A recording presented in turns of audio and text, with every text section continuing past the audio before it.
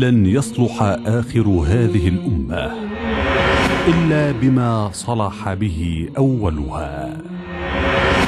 موقع أنا السلفي يقدم لكم هذه المادة. الحمد لله والصلاة والسلام على رسول الله وبعد. هذه هي المحاضرة الأخيرة في يومنا هذا وهي بعنوان نوازل الصيام نوازل الصيام. والمقصود بنوازل الصيام يعني المسائل العصرية المستحدثة التي جدت في يعني ما يتعلق بأحكام الصيام فيما يتعلق بأحكام الصيام. فمعنا يعني في هذا البحث المختصر جدا معنا في تقريبا حوالي 24 نازلة. إحنا سردناهم في أول اليوم وبسرعة كده نسردهم مرة أخرى.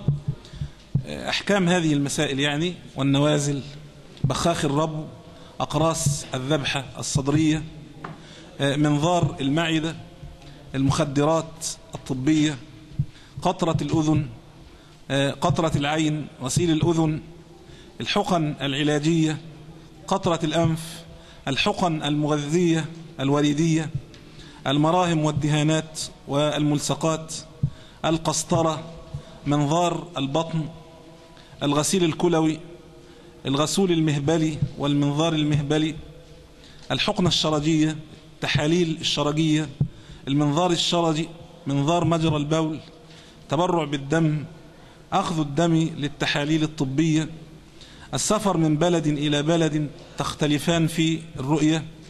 السفر بطائرة ونحوها بعد مغيب الشمس أو قبله. فهذه المسائل التي نتناولها باختصار شديد جدا.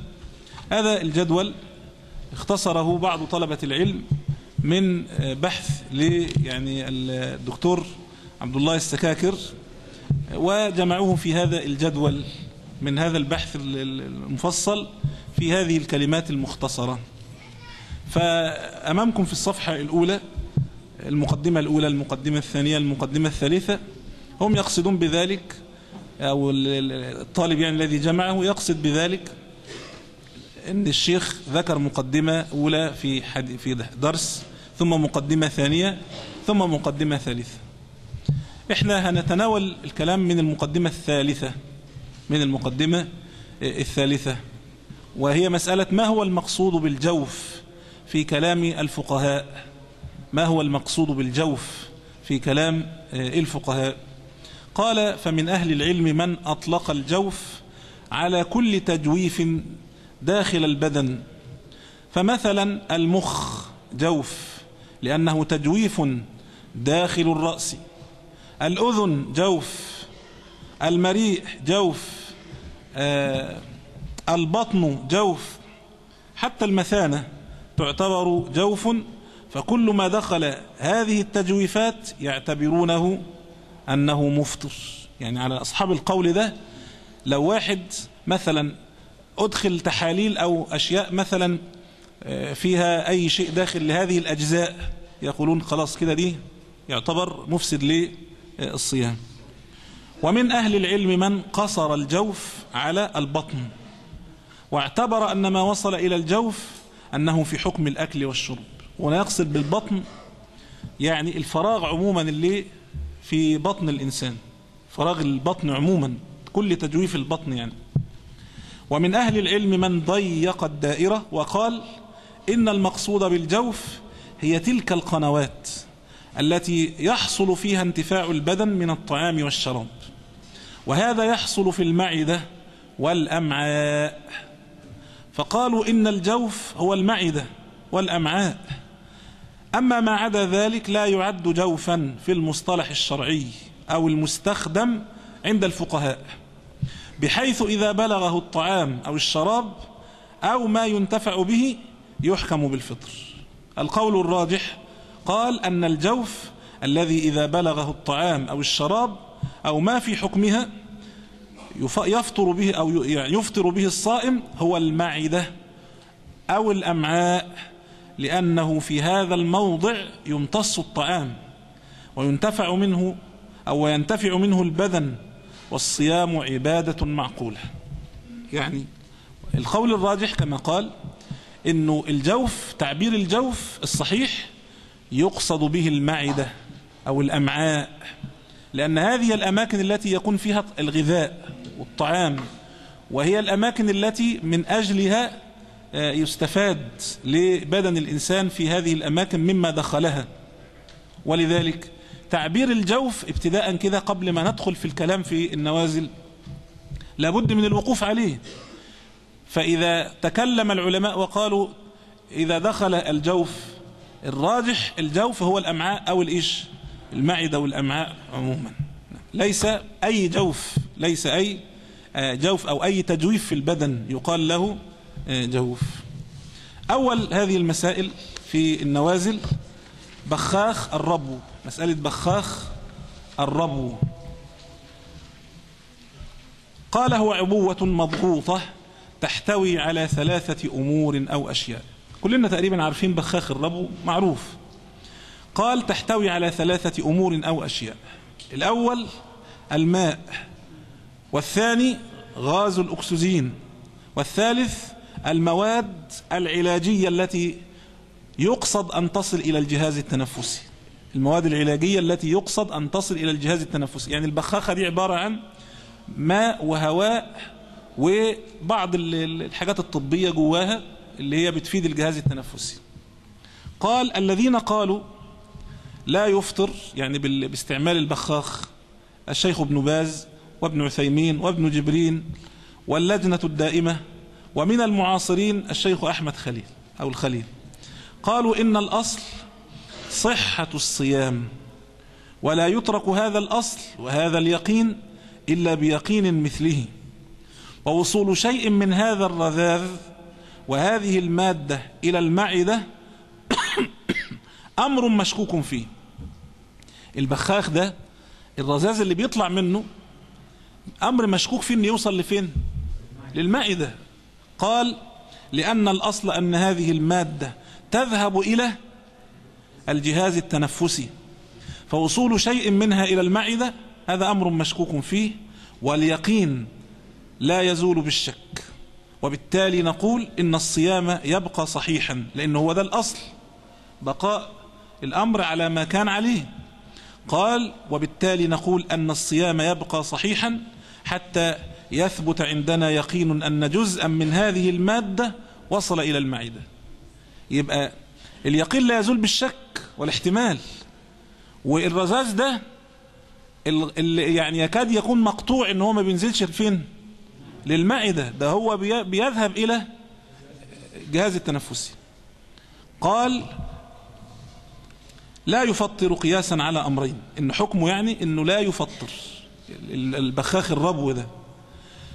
قياسا على أمرين. الأول ما يبقى بعد المضمضة.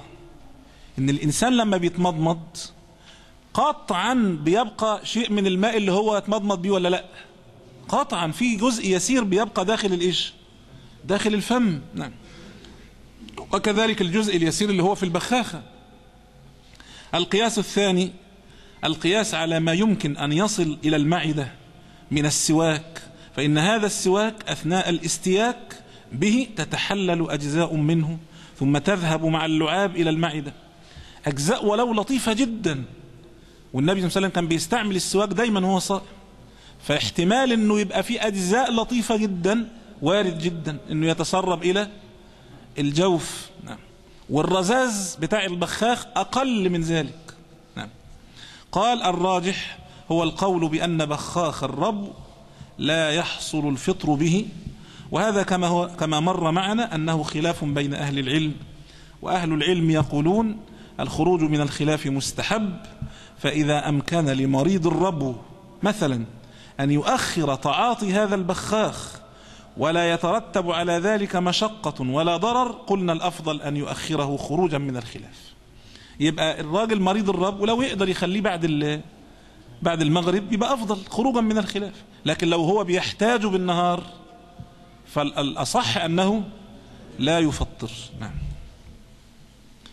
النازلة الثانية قال الأقراص العلاجية التي توضع تحت اللسان.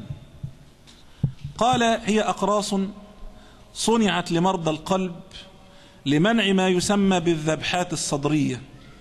هذا العلاج صنع لمرضى القلب لمنع هذه الذبحات أو التجلطات في القلب بحيث أن الإنسان يضع هذه الحبة تحت لسانه فما هي إلا مدة يسيرة جدا فيمتص, فيمتص البدن هذه المادة العلاجية. فتصل إلى القلب عبر الدم وينتفع بها البدن. طيب حكم الأقراص دي بقى اللي هي أقراص بتاعت القلب الناس بيحطوها تحت لسانهم عشان المسألة دي. قال هذه الأقراص لا يحصل بها الفطر لكن بالشرط الذي ذكرت لكم ده يعني كلام الشيخ عبد الله السكاكر قال يقول لكن بالشرط الذي ذكرت لكم وهو أن ما تحلل منها لا يبتلعه الإنسان لأنه لو ابتلعه الإنسان فحينئذ نقول إن هذا عبارة عن أكل أو شرب فإذا ابتلع ذلك فإنه يفطر بذلك. يبقى الأقراص اللي هو بيحطها تحت لسانه يسيبها تتحلل وهي فين؟ تحت اللسان. ما يحاولش إن هو يجعل جزء منها يدخل فين؟ إلى جوفه وبطنه. فإذا كانت بتتحلل وده الغالب إن لم يكن يعني يعني شبه هو يعني الدائم إنه إنه إنه المقطوع آسف يعني إنه هي بتتحلل فعلا تحت الإيش؟ تحت اللسان وما بتدخلش للجوف في الغالب. نعم. وعليه ففي هذه الحال أيضا لا تكون يعني مفسدة للصوم. النازلة الثالثة. قال منظار المعدة منظار المعدة. قال هو عبارة عن جهاز طبي متصل بسلك أو خيط أو نحو ذلك يدفع في الجهاز الهضمي للإنسان عبر الفم ثم البلعوم ثم المريء ثم يصل إلى المعدة. متهيألي كلنا عارفين المنظار. عبارة عن عدسة أو جهاز يعني كده بيدخلوه بخرطوم معين من الفم أحيانا ومن أجزاء أخرى في البدن عموما. بيدخل إلى مثلا المعدة يوم يعمل في المعدة إيه؟ بيعمل عملية اكتشاف وتصوير داخل المعدة ونحو ذلك. يقوم هو بيعمل بيه عملية استبيان لحالة المعدة نحو ذلك. قال ثم يصل إلى المعدة. وهذا الجهاز في غالب أحيانه يستعمل لأغراض تشخيص إما تصوير وإما أخذ عينات أو نحو ذلك. ثم بعد انتهاء الغرض يسحب مرة أخرى. ويستخرج هذا هذا هو المنظار ويستخرج هذا هو المنظار الذي نريد أن نتحدث عنه. في الترجيح بقى قال فنقول المنظار له حالتان. الأولى هي أن يقوم المعالج بوضع مادة هلامية أو مادة دهنية فهذا يفطر الصائم. لو هو حط على المنظار وهو بيدخله مادة اللي هي الجيلاتينية اللي بيحطوها ساعات أحيانا ودخلوا بيها يبقى في الحالة دي هيفطر. ليه؟ لأنه أدخل شيئا إلى المعدة فله حكم الأكل والإيش والشرب. قال الحالة الثانية أن يقوم المعالج بإدخال هذا المنظار بدون وضع أي شيء عليه فعند ذلك لا يفطر. ورجحه الشيخ ابن عثيمين رحمة الله عليه. يبقى الفرق بين المنظار المعدة في إنه يفطر أو لا يفطر إنه ما يصطحبش بماذا؟ بأي مواد داخلة إلى المعدة.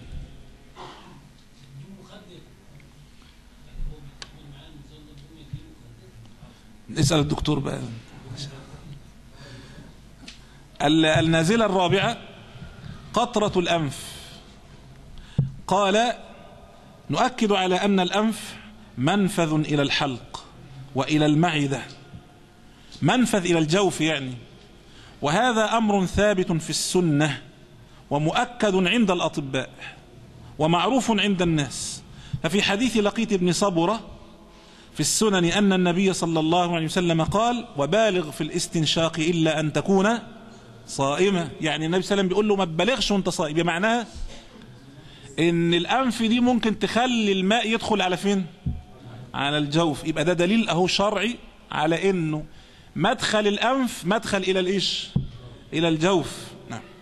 قال وهذا يفيد بأنه إذا كان صائما فلا يحل له أن يبالغ في الاستنشاق لئلا يصل الماء إلى جوفه فيفطر بذلك. قال بالقول الأول ابن باز وابن عثيمين رحمهم الله إشارة إلى يعني أنه لو هو ما دخلش حاجة إلى الجوف من خلالها خلاص يبقى مش هي مش هيفطر. قال في الترجيح لا شك أن القول الأول أنه يفطر.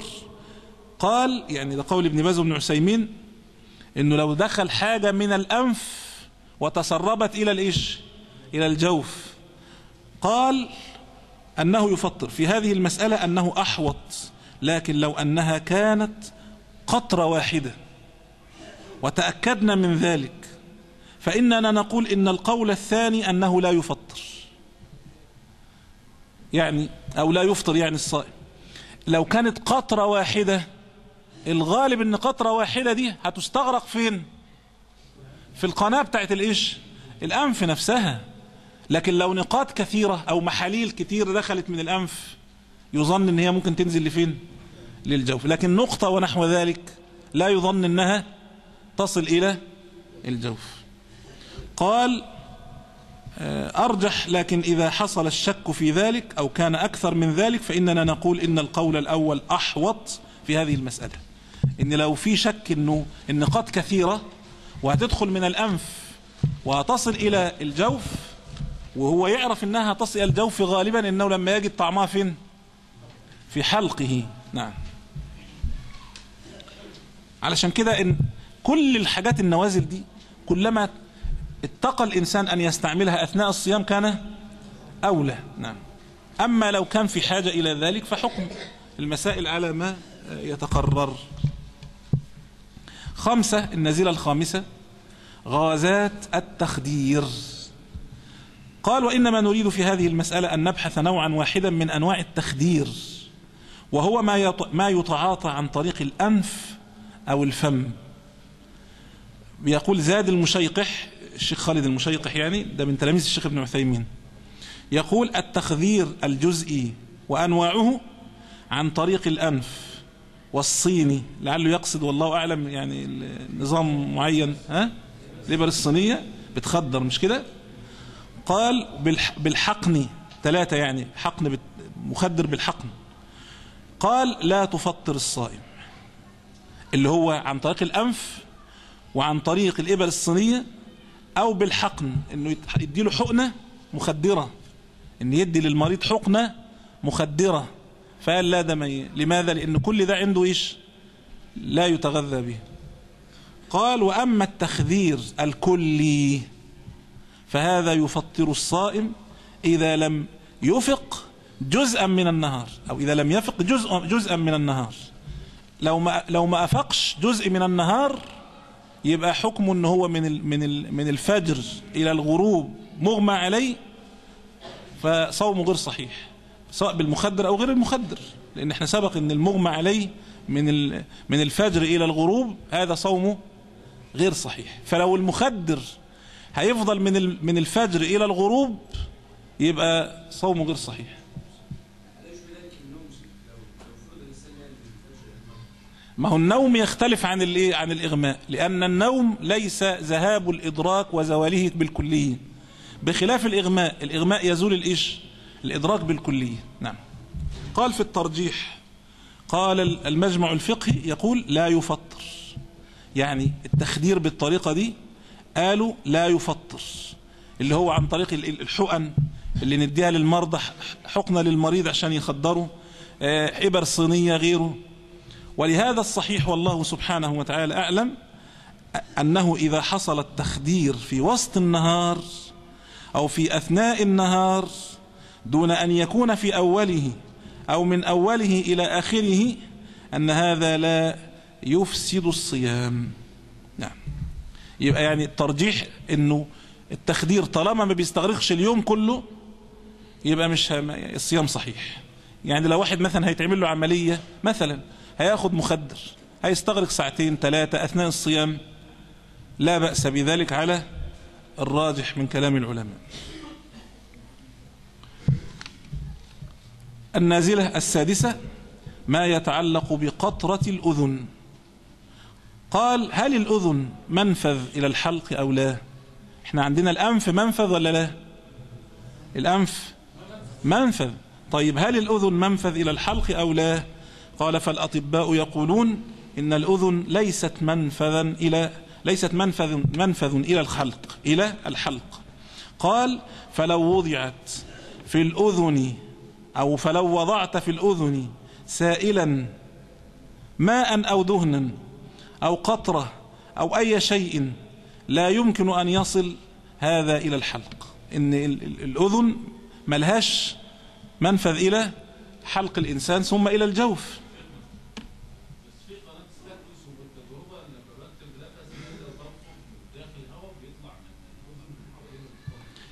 ماشي إحنا يعني أنا شخصيا مش من أهل التخصص أنا هقول بقى اللي هو قدامي ده إن أنا ما أعرفش. قال إلا في حالة واحدة وهي إذا وجد في طبلة الأذن خرق فحينئذ هناك قناة تصل من الأذن إلى الحلق ومن الممكن أن يضع الإنسان في أذنه شيئا فيصل إلى حلقه. أما إذا كانت طبلة الأذن غير مخرقة فإنه لا يمكن أن يصل شيء من الأذن إلى الحلق.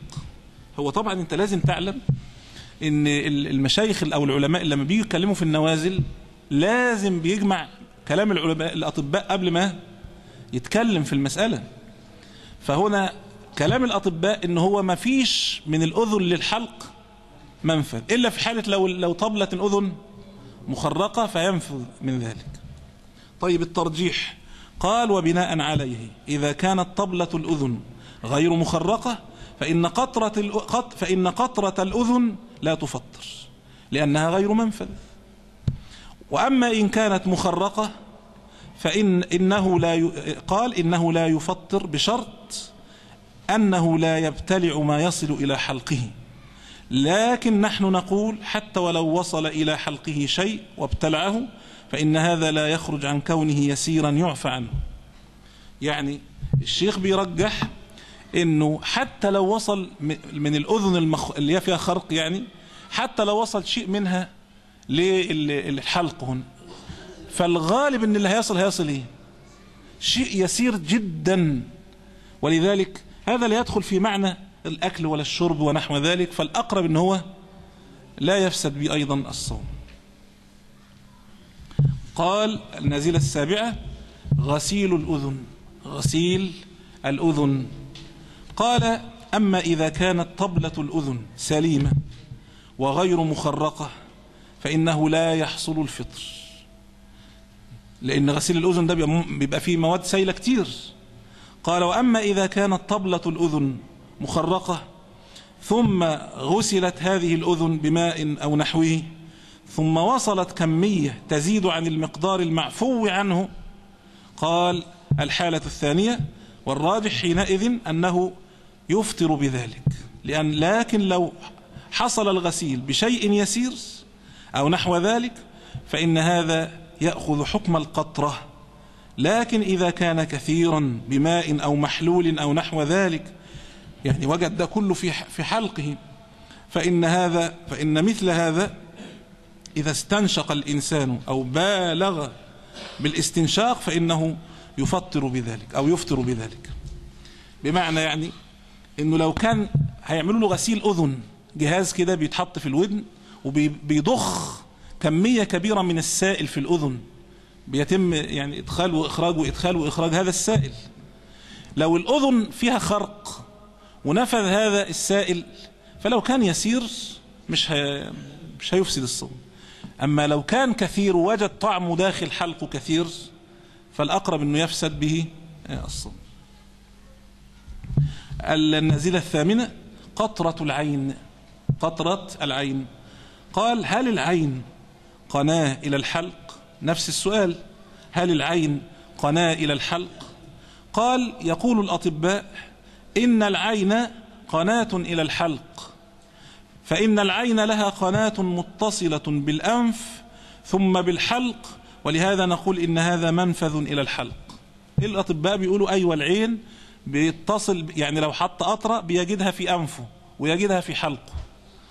وقد ذهب الشيخ عبد العزيز بن باز والشيخ محمد العثيمين عليهما رحمة الله إلى أنه لا يفطر الصائم بوضع قطرة في عينه لأن الصيام ثبت بيقين فلا يرفع إلا بيقين. وما يصل مما يوضع في العين من قطرة لو وصل فإنه لا يزيد على ما يعفى عنه. مما يتبقى بعد المضمضة. يعني المشايخ رحمة الله عليهم بيقولوا إنه حتى لو وجد طعمه في حلقه اللي هو القطرة يعني ده هيكون إيش؟ شيء يسير جدا يعفى عنه. زي الماء اللي بيتمضمض الإنسان بيه بيبقى منه إيش؟ شيء بلا شك فبيعفى عنه. كذلك نفس المعنى. قال فأهل العلم مختلفون في الكحل والصحيح أنه لا يفطر الإنسان لا, لا يفطر الإنسان بالكحل. يعني حكم الكحل كذلك. لو بيتحط في العين بقى زي القطرة برضه الصحيح أنه أيضا لا يفطر. فالأصل المقيس عليه أي على القول الثاني ليس مسلما كما يستدلون بحديث لقيت ابن صبرة. يعني ليس مسلما يعني مش مسلم مئة بالمئة طبيا إنه العين منفذ إلى الإيش؟ إلى الحلق مش مسلم طبيا بذلك يعني. وحتى لو لو سلمنا طبيا يعني فغالب اللي هيتسرب من العين إلى الحلق هيكون إيش؟ شيء يسير جدا مما يعفى به يعفى عنه. قال فالأصل المقيس عليه أي على القول الثاني ليس مسلما كما يستدلون بحديث لقيت بن صبرة وبالغ في الاستنشاق إلا أن تكون صائمة. قالوا هذا يصل إلى المعدة. وقد أجبنا عن ذلك بأن ما يمكن أن يصل إلى الحلق ثم إلى المعدة من ذلك يسير معفو عنه. هو داخل تحت ما تجاوز الله عنه مما يبقى بعد المضمضة. نعم. ولهذا فالصحيح أن قطرة العين لا يحصل بها الفطر.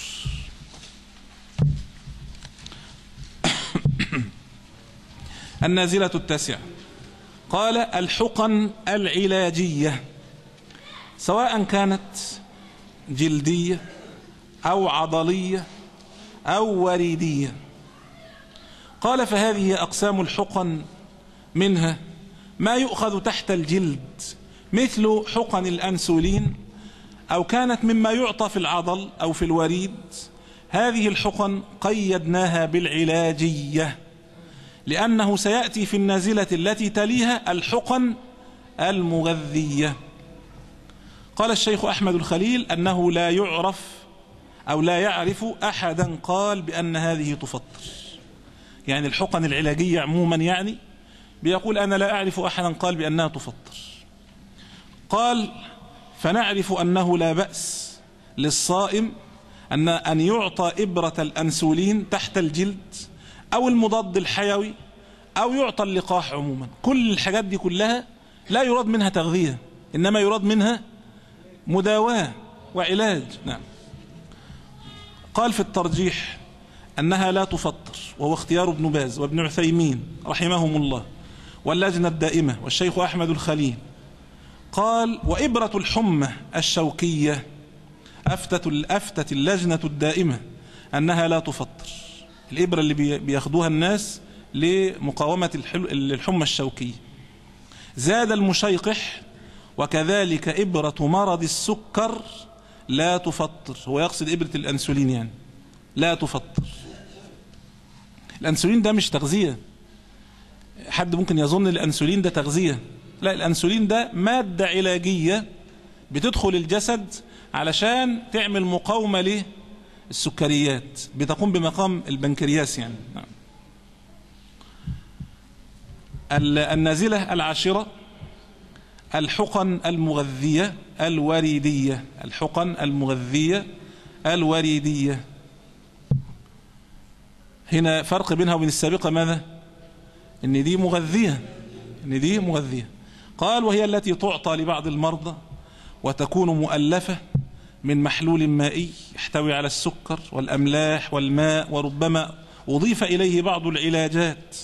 فهذه الإبر المغذية لا تنفذ إلى الجوف نعم ما بتصلش من الجوف إلى الجوف ولا تصل إلى المعدة وإنما هي إبر تعطى عن طريق الوريد فهي تدخل إلى الدم مباشرة.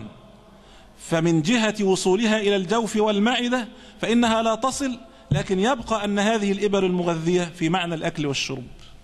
لأنه الأكل والشرب يراد منه في النهاية ماذا؟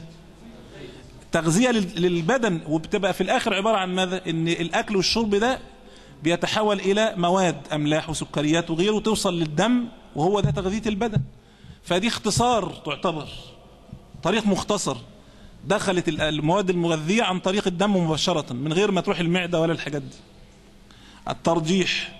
قال ولهذا فلا شك أن القول الراجح أنه إذا تعاطاها المريض فإنه يفطر بذلك. اللي هي الإبر الإيش المغذية. نعم. النازلة الحادية عشر.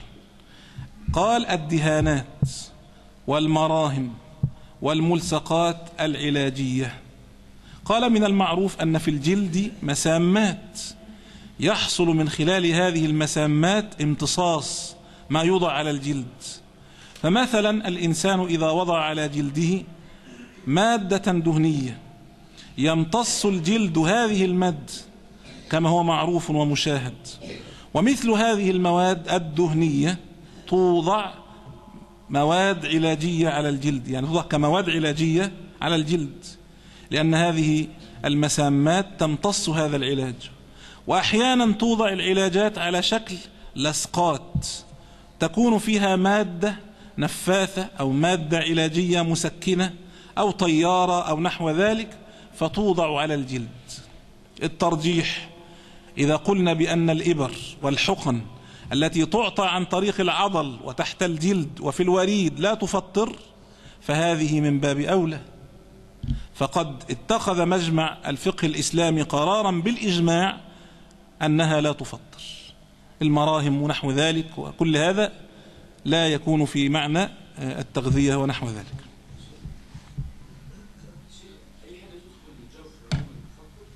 آه حتى لو مش مغذية. آه.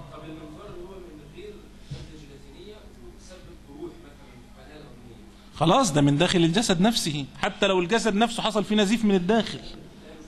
لا يفطر بلا شك. لأنه الريق نفسه بيدخل ويطلع فهذا من داخل الجسد. 12 القسطرة.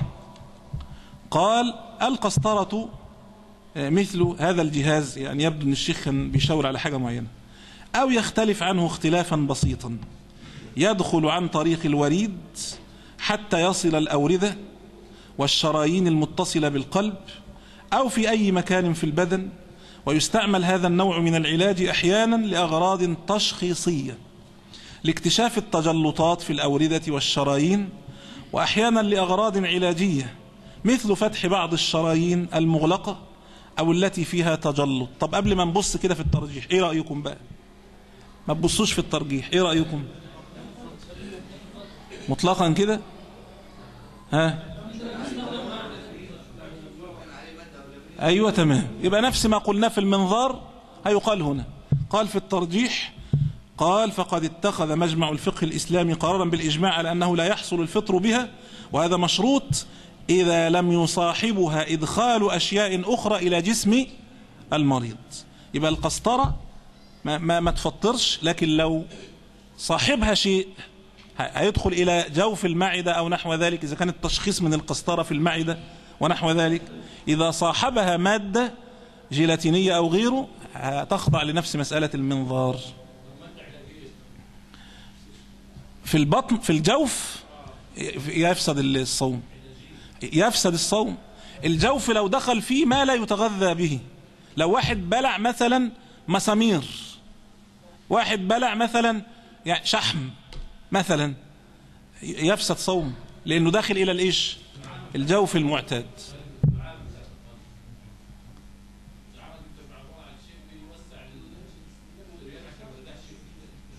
ما هو نفس المعاني بتاعت القسطرة. هيبقى نفس الكلام. إذا كانت بتصطحب معها مادة للجوف للجوف. ماشي خلاص ما فيش مشكلة. المهم ما لا ما مش هتفطر هنا. إنما المهم ما تدخلش للمعدة بشيء من الخارج على المعدة. قال 13 منظار البطن. قال وهو منظار انتشر بعد تطور الطب يدخل في يدخل في بطن المريض عن طريق جدار البطن فتفتح فتحة صغيرة في جدار البطن ثم يدخل هذا المنظار وهذا المنظار يذهب إلى تجويف البطن لكنه لا يذهب إلى المعدة. فإذا قلنا إن تجويف البطن هو الجوف قلنا هذا وصل إلى الجوف لكن إذا حصرنا كما مر معنا واتفقنا في الدرس الأول أن الجوف مقصود به المعدة فإن هذا المنظار لا يذهب إلى المعدة إنما هذا المنظار يذهب إما لأغراض علاجية مثل استئصال المرارة أو استئصال الزائدة الدودية أو استئصال حصوات معينة وأحيانا يكون لأغراض تشخيصية تصوير ونحو ذلك. وأحيانا يكون لأخذ عينات من الكبد أو نحو ذلك فهو لا يصل إلى المعدة وإنما يذهب إلى تجويف البطن إلى الزائدة أو المرارة أو الكلى أو الكبد الراجح فيها كالمسألة السابقة. إنه هو لو مش هيوصل للجوف بمواد معه فيها فلا, فلا يفسد الصوم.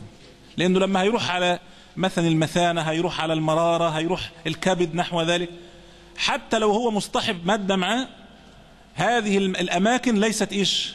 هي الجوف. نعم. قال 14 الغسيل الكلوي الغسيل الكلوي. قال وهي عملية غسيل الدم وإخراج هذه السموم والمواد الضارة من الدم هي ما يسمى الغسيل الكلوي. قال والغسيل الكلوي له طريقتان. الطريقة الأولى عن طريق ما يسمى الكلية الصناعية وهي أداة أو جهاز يوصل بالمريض اللي هو عفان الله وإياكم الجهاز اللي هو بيدخل فيه المريض أو بيدخل بيتركب للمريض. قال عن طريق الوريد فيستخرج دم المريض عن طريق الوريد إلى هذا الجهاز فيقوم هذا الجهاز بتنقية هذا الدم عن السموم والمواد الضارة ثم يضاف إلى هذا الدم بعض السكريات والأملاح ثم يعاد ضخه إلى المريض مرة أخرى. ها افتوا أنتوا بقى يلا. ها حكمه؟ آه هذا يفسد الصوم. لماذا؟ لأنه آه أدخل معه مواد كلها يستفيد منها الإيش؟ البدن. الطريقة الثانية اللي هي للغسيل الكلوي عن طريق ما يسمى بغشاء البريتو البريتون أو البريتون وهذا الغشاء موجود داخل تجويف البطن. فيفتح للمريض فتحة فوق السر ثم يضخ عن طريق هذه الفتحة كميات من السوائل فيها كميات كبيرة من السكريات والأملاح. وتبقى داخل تجويف البطن. عندما يسمى بغشاء البريتون فهذا الغشاء يتبادل مع هذه السوائل السموم أو المواد الضارة الموجودة امتصاصا وإفرازا ثم يقوم الطبيب بإخراج هذا السائل مرة أخرى ويضخ سائلا آخر مرة أخرى يبقى في البطن مدة من الزمن ثم يمتص أو يستخرج وهكذا.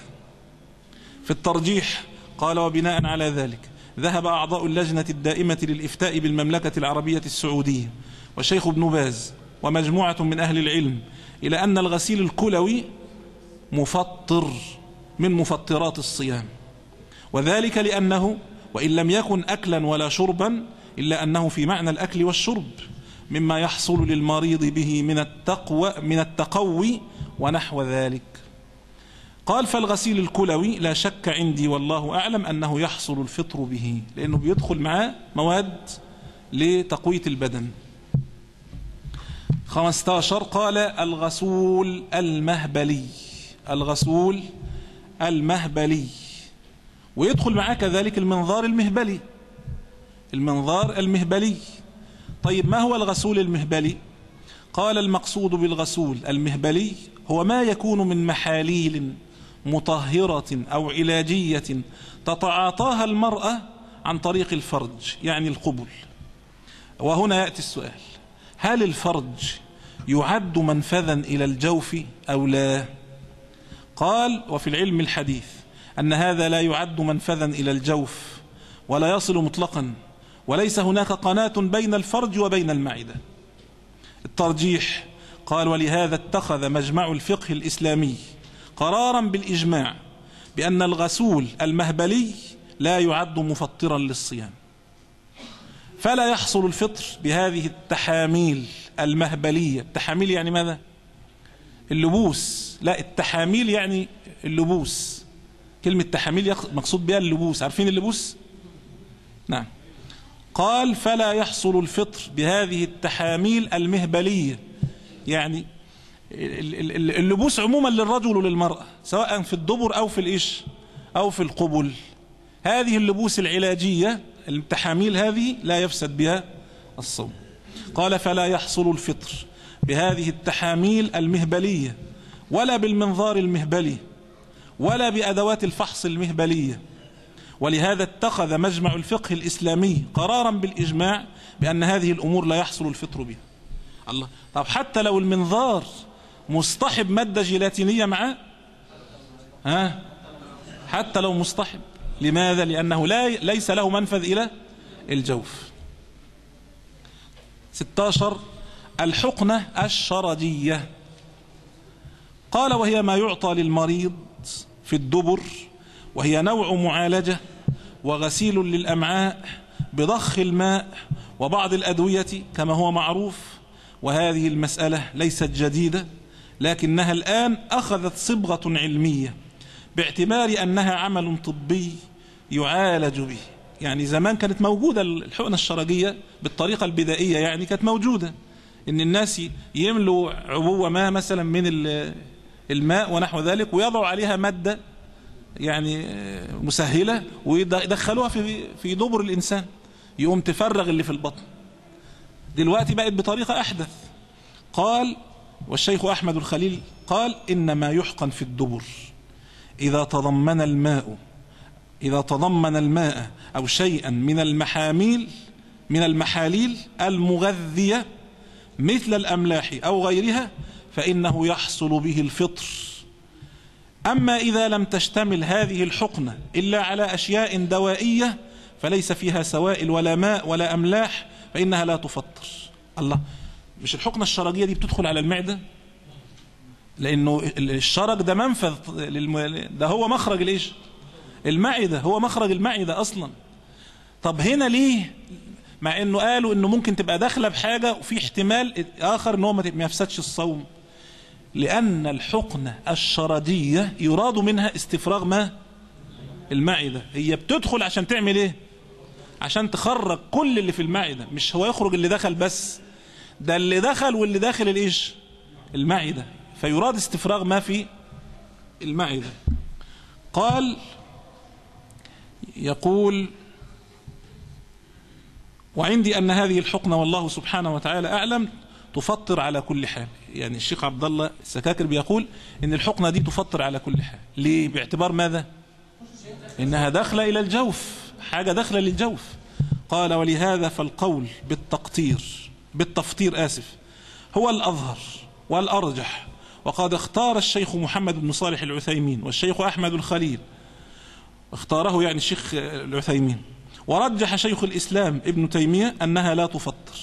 شيخ الإسلام قال إنها بتعمل إيه؟ تستفرغ ما في البطن. قال والذي يظهر والله تعالى أعلم أن هذه الحقنة الشرجية مفطرة. زاد المشيقح وهو قول الأئمة الأربعة. وده أقوى والله أعلم. القول إنها مفطرة أقوى.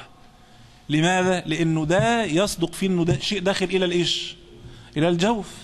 هيقول لك ما هو يستفرغ طب وإحنا ما يدرينا أنه استفرغ كل ما دخل استفرغ كل ما دخل ولذلك الأقرب إنها تفطر الأقرب إنها تفطر.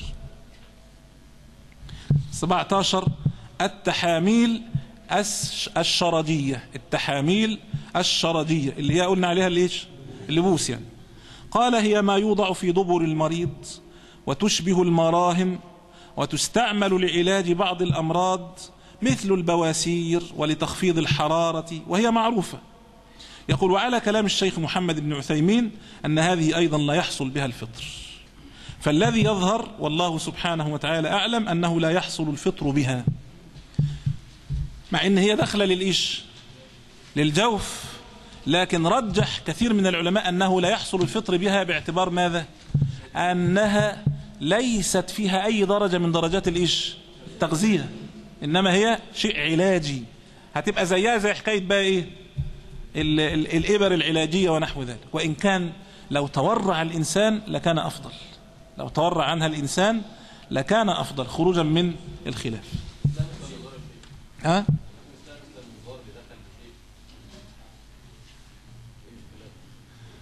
المنظار اللي دخل للمعدة ولا تقصد لخارج المعدة؟ آه فعلا هي شبهها. هي شبهها فعلا. عشان كده إن الإنسان لو تورع عن استعمال اللبوس في أثناء الصيام لكان أفضل. آه. آه صحيح. وإنه إنه إنه إحنا الأقرب إنه كل ما دخل إلى الجوف يفسد الصوم. إذا وصل للجوف. والشرج ده منفذ إلى الإيش؟ إلى الجوف. ها؟ لا إحنا قلنا قبل ذلك انه الدخان الدخان في خلاف قوي جدا البخور وغيره نحو ذلك. الدخان ده لو كان جرم تقيل زي الدخ زي دخان السجاير والبخور يحتمل إنه يفسد الصوم يحتمل إنه يفسد الصوم. أما تناول السجاير نفسها لا ده ده الأقوى إن هو يفسد به الصوم بلا شك.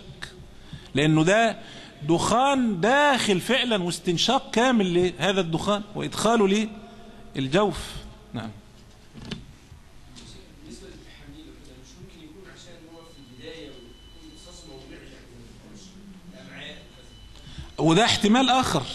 ولذلك في الحقيقة هي من باب التورع عنها الأفضل انه الواحد يعني يتورع عنها. هو في احتمال آخر إن هي بت- بتذوب فين؟ بتذوب في الشرج. بتذوب في الشرج نفسه. نعم. 18 قال المنظار الشرجي. قال المنظار الشرجي الكلام فيه كالكلام في منظار المعدة. قال فالمنظار الشرجي كمنظار المعدة بحيث إنه إذا وصل إلى مناطق الامتصاص وهي الأمعاء الغليظة فما فوق إلى المعدة فإن ضخ معه شيء من السوائل أو المحاليل أو المواد الهلامية أو الدهنية أو نحو ذلك فإنها تصل إلى أماكن الامتصاص وحينئذ تكون في حكم الأكل والشرب فيحصل الفطر بها. أما إذا لم يصل إلى أماكن الامتصاص أو لم يضف إليه, يضف إليه محاليل أو مواد مواد مسلكه أو آسف مواد مسلكة. مش كده؟ فإنه حينئذ لا يفطر كما تكلمنا في منظار المعدة. عشان كده موضوع التحاميل اللي هي اللبوس في احتمال فعلا إن هي ما تكونش بتوصل لفين؟ للمعدة. وإن هي بتذوب بسرعة في منطقة الشرج والله أعلم. قال حكمه كمنظار المعدة 19 ما يدخل عبر مجرى البول. ما يدخل عبر مجرى البول. عبر مجرى البول سواء للرجل أو المرأة. أحيانا بيبقى منظار ونحو ذلك. قال وهذا له عدد من الأنواع أحيانا يدخل عبر مجرى البول. أعزكم الله. منظار مثل ما مر معنا في منظار المعدة والشرج والمنظار المهبلي يعني مثلا عملية الحصوة كتير من الأطباء بيجيبها بطريق الإيش؟ منظار المجرى البول بيدخل من عن طريق ال- ال- ال- الفرج أو أو ال- العضو الرجل أو المرأة فرجها بيدخل المنظار هذا ويصل إلى مسالك البول ويطلع الإيش؟ يطلع الحصوة دي. نعم. قال وأحيانا تدخل بعض المحاليل لغسيل المثانة. وأحيانا تدخل بعض الأدوية وأحيانا تدخل بعض المواد التي تصاحب عملية التشخيص بالأشعة ليتضح التصوير بإضافة هذه المواد فيضخ, فيضخ عبر مسالك البول هذه المواد حتى تتضح في أجهزة التصوير.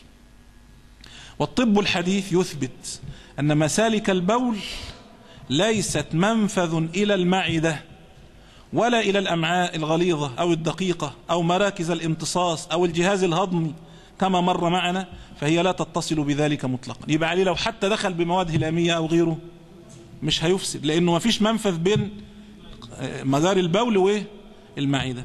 يقول فالقول الراجح أن هذه التي تدخل من مجاري البول أنها لا تعد مفطرة وهذا هو الذي أفتى به أعضاء مجمع الفقه الإسلامي في دورته العاشرة.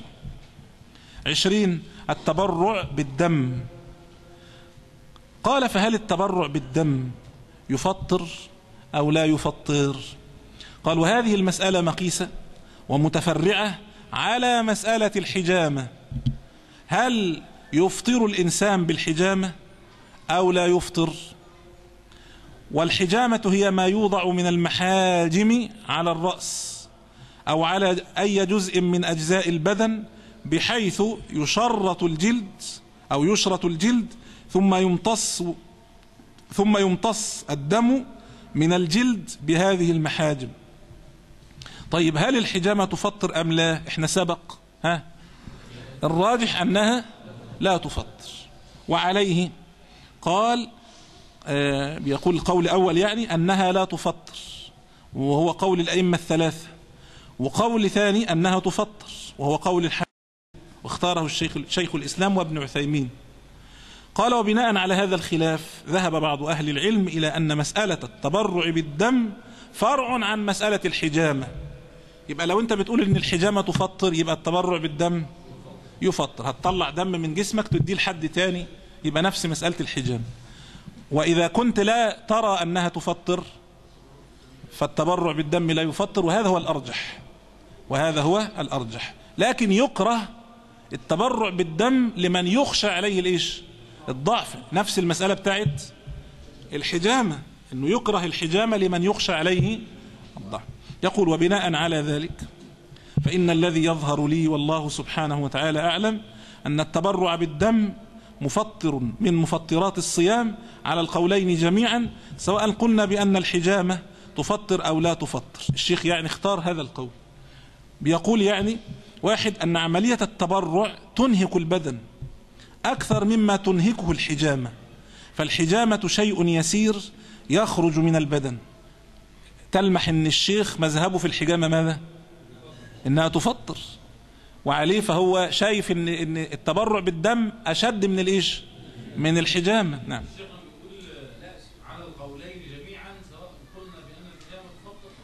أيوه ماشي. أنت تلمح بقى بنظرة خفية. إن هو ها؟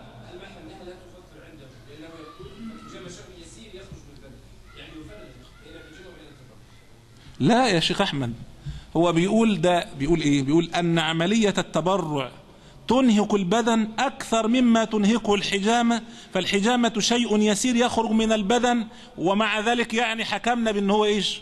يفطر. فما بالك بالإيش؟ بالتبرع الذي هو أشد من ذلك نعم. اثنان يقول قياسه على من استقاء متعمدا. بيقول إنه ده قياسه على الاستقاء متعمدا بيضعف الاستقاء متعمدا مش كده؟ بيقول ده ده أشد ده هيطلع دم مش هيطلع بقى إيه؟ مجرد أكل من من جسمه.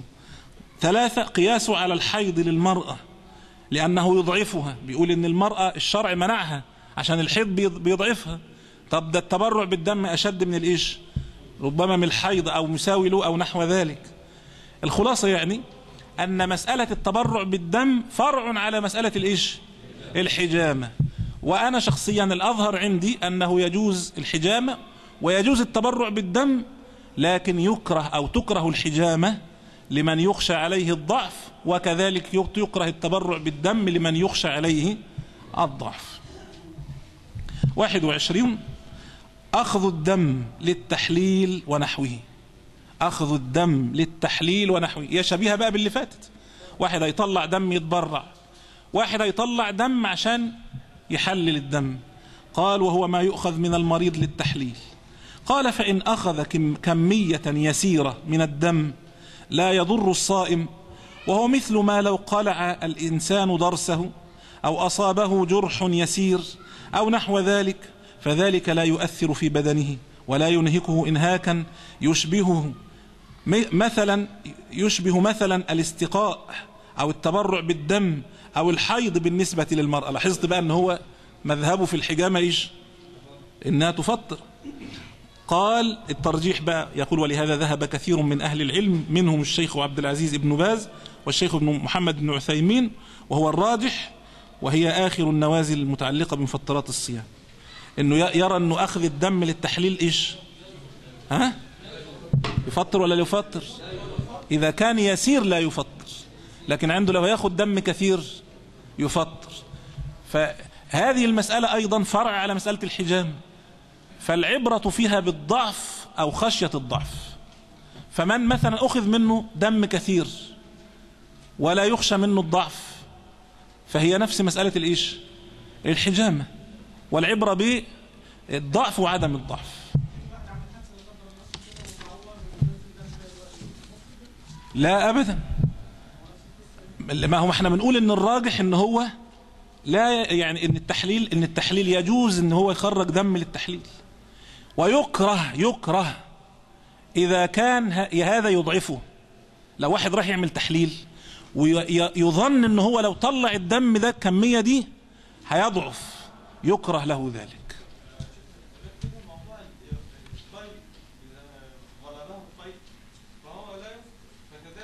تمام. تمام تمام تمام. وعليه اللي هو عمل حث أو غيره عافانا الله وإياكم. نفس المسألة. خرج منه دم ولو كثير. هل نقول بأنه يفسد صومه؟ لا يفسد صومه. نعم. النازلة 22 قال السفر من بلد إلى بلد يختلفان في الرؤية. قال وهي مسألة ما إذا انتقل الإنسان من بلد إلى بلد آخر قد اختلفت رؤية البلد الأول عن البلد الثاني. يقول وقد يترتب على هذه على هذه آه، الأمر على هذا الأمر واحد أن الإنسان يسافر من بلد إلى بلد. المسألة دي ليه نازلة؟ عشان كان زمان صعب إنها تبقى إيه؟ موجودة. لأن دلوقتي إحنا في طيارات وصواريخ وكده. إن صعب جدا إن الإنسان ينتقل من مشرق إلى المغرب بإيه؟ في وقت ضيق زمان يعني. إنما المسألة دي حادثة ونازلة ليه؟ لأن جديدة. يعني اللي كان عايز يطلع مثلا من مثلا السعودية مثلا زمان الجزيرة العربية عايز يروح المغرب ده بياخد له شهر. إنما دلوقتي ممكن ياخدها في إيه؟ في ساعتين ثلاثة وعليه ممكن يطلع هو من بلد ظروف الرؤية فيها مختلفة عن الإيه؟ البلد الأخرى. أو زي المسألة اللي هتيجي بعد كده إن يطلع وهنا والشمس خلاص هتغرب ومجرد أنا حصل معايا أنا شخصيا. يعني ركبت مرة من اسمها إيه؟ ال- لا اللي هي اللي اسمها اللي فيها حتة اسمها رأس الخيمة دي اسمها إيه؟ الإمارات؟ آه الإمارات آه. ركبت من الشارقة الشارقة. ركبت من الشارقة وأنا جاي مصر هنا قبل المغرب. خلاص المغرب هيأذن وأنا وكان في صيام. والمغرب هيأذن خلاص. الطيارة طلعت بينا الدنيا كلها نهار لسه. مع إن إحنا في الشارقة كان فاضل قد إيه؟ ما فيش خمس عشر دقائق. والأذان هيأذن. بس الطيارة مجرد ما اتحركت كل ما تتحرك تخش تعمق في جاية المغرب كل ما الايه لسه النهار. وده أنت مش آه طبعا أنا بسبق الشمس بالطيارة. فدي نازلة من النوازل. قال السفر من بلد إلى بلد يختلفان في الرؤية. قال يترتب على هذا الأمر واحد أن الإنسان يسافر من بلد إلى بلد فتختلف بداية الشهر بين البلدين. فإذا اختلفت البداية ربما تختلف النهاية. فقد يترتب على ذلك أن الإنسان إذا صام مع البلد الثاني الذي انتقل إليه قد يصوم واحد وثلاثين يوما. مش كده؟ إنه ممكن يطلع من بلد والبلد الثانية صامت بعدها بيوم أو بيومين ساعات كمان بتحصل. نخليها بيوم. طيب البلد دي اللي هو صام معاها وصل الصيام بتاعه لما هيتنقل هناك ممكن يوصل 31 يوم. إيه حكمه بقى؟ قال الصورة الثانية قد يحدث العكس وهو ما إذا تقدمت رؤية البلد الذي قادم إليه فقد يصوم ثمانية وعشرين يوما. قال على الراجح قال على المسألة الثانية فعليه واحد أن يفطر معهم. اثنان وإذا أفطر العيد يصوم يوما آخر لأنه لم يصم إلا ثمانية وعشرين يوما والشهر لا يكون ثمانية وعشرين يوما ده قول العلماء إن هو الناس اللي هو في البلد اللي هو راحها ظهر الهلال عنده. بس هو بالنسبة له في العدد ده 28 يوم. هو جاي من بلد تانية. ورأى ظهرت الرؤية بتاعت العيد على 28 يوم صيام عنده هو. الناس التانيين صايمين 29 أو 30 هو لسه 28 ماذا يفعل هنا في هذه الحال؟ قول قالوا أن يفطر معهم. يفطر معهم لأنه صومكم يوم تصومون وفطركم يوم تفطرون. وفي قول آخر قالوا لا. النبي صلى الله عليه وسلم قال الشهر هكذا والشهر هكذا. يعني الشهر يبقى يا 30 يا إيه؟ يا 9 ما ينفعش يبقى 28 وعليه لا يجوز له إنه يعمل إيه؟ يفطر. اللي قالوا إنه يصوم يفطر معاهم قالوا صوموا لرؤيته وأفطروا لرؤيته. وهم رأوا الهلال وهو رأى الهلال فيلزموا. واللي قالوا لا ما يصومش ما يفطرش معاهم لأنه الشهر كما قال النبي صلى الله عليه وسلم 30 أو 29 فالقولين فيهم مجاهة قال الترجيح بقى. قال ذهب الشيخ عبد العزيز بن باز والشيخ محمد بن صالح العثيمين وجمع من أهل العلم إلى أنه إذا انتقل من بلد إلى بلد آخر فإنه يتبع البلد الذي انتقل إليه فيصوم معهم ويفطر معهم حتى ولو ترتب على ذلك أن يصوم واحدا وثلاثين يوما أو ثمانية وعشرين يوما. لقوله الصوم يوم تصومون والفطر يوم تفطرون والأضحى يوم تضحون. ده ما يمنعش إن في قول تاني قال بإن هو لو هيصوم 31 ما يصومش. خلاص لأنه في حقه ماذا؟ خلاص الشهر هكذا وهكذا. فيا 30 يا 29 ولو هيصوم 28 ما يعملش إيه؟ لا يكمل ويصوم هو عشان يكمل الشهر 29 على الأقل. لكن في الحقيقة القول ده أقوى. القول ده أقوى اللي هو إيه؟ لو صم معهم على أي صورة. لماذا؟ لأن هنا في هذا الحال يكون قد وافق أمر النبي صلى الله عليه وسلم. الصوم يوم تصومون والفطر يوم تفطرون. وصوموا لرؤيته وأفطروا لرؤيته.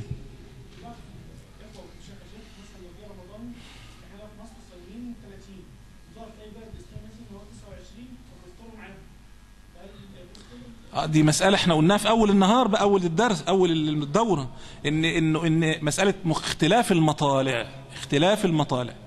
هذه المسألة باختصار شديد طب خليها سؤال بعد ما نخلص النوازل. ماشي؟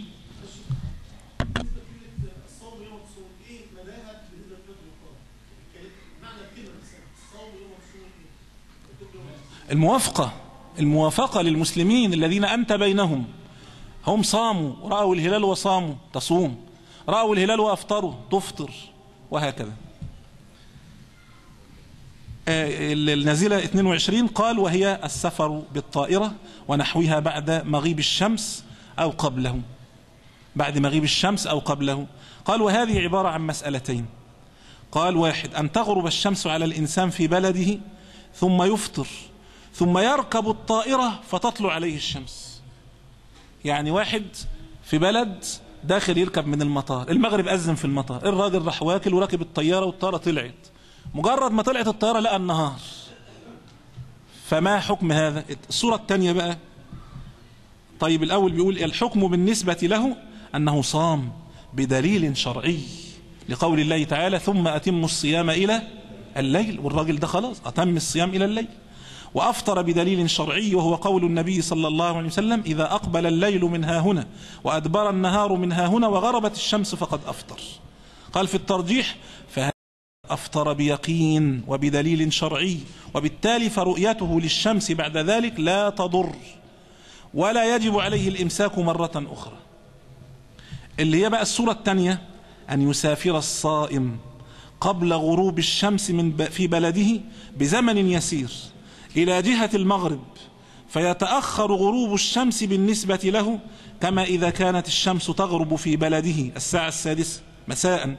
وقبيل السادسة بعشر دقائق ركب الطائرة مسافرا إلى المغرب فكلما مشى في هذا الطريق كلما طال النهار. يعني واحد راكب مثلا من الإمارات ولا الكويت ونحو ذلك قبل المغرب بعشر دقائق والطيارة أقلعت. رايح هو الجزائر مثلا ولا تونس هيفضل يضرب كل المسافة دي كلها إيش؟ صيام. ليه الساعة أو الساعتين الزيادة دول؟ لأنه هو لم يرى الإيش؟ لم, لم يتحقق عنده الإيش؟ غروب الشمس وهكذا.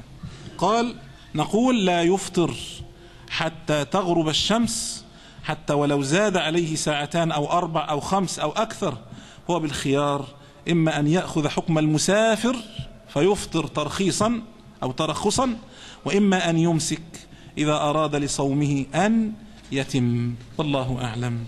كان هذه بعض يعني النوازل في هذه المسألة. نعم؟ آه طبعا. آه فضلت ممسك لغاية ما جيت مصر طبعا. كان الفرق حوالي ساعة ونص أو ساعتين يعني. قال قال في الهامش زاد المشيقح قال زاد الشيخ خالد المشيق الشيخ خالد المشيقح ال- المفطر الرابع والعشرون معجون الأسنان. قال لا يفطر لأن الفم في حكم الظاهر لأن لكن الأولى للصائم ألا يستخدمه إلا بعد الإفطار. إذ نفوذه قوي ويستغنى عن ذلك بالسواك أو بالفرشاة بلا معجون. يعني حكم استخدام معجون الأسنان دي نازلة برضه معجون الأسنان قد يتسرب منه بعض الأشياء اللطيفة. قد يتسرب منه بعض الأشياء اللطيفة. ولذلك بعض العلماء قال لو تسرب منه شيء فإنه يفسد الصيام. وعليه فالإنسان يتورع عنه ما استطاع إلى ذلك سبيلا. نعم. قل هذه سبيلي أدعو إلى الله. على بصيرة أنا ومن اتبعني وسبحان الله وما أنا من المشركين.